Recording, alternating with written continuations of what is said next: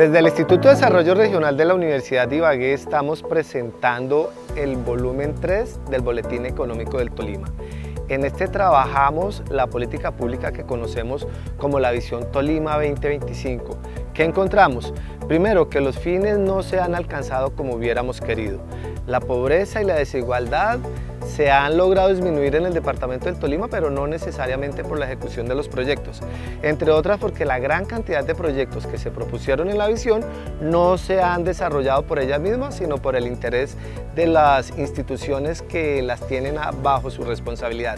Además, encontramos que el crecimiento económico del departamento del Tolima no ha cambiado significativamente, por el contrario, hemos perdido participación a nivel nacional. Y también encontramos que la ordenanza departamental que la instauró no se ha cumplido, es decir, la Secretaría de Planeación del Departamento del Tolima durante ese periodo y a la fecha no ha trabajado alrededor de cumplir lo que la ordenanza planteó.